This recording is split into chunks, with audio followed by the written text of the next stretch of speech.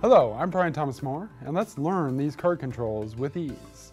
They're some of the most difficult card moves in Magic, and most people shy away from them, but I think you can learn them with ease. So we have a card selected, just like that.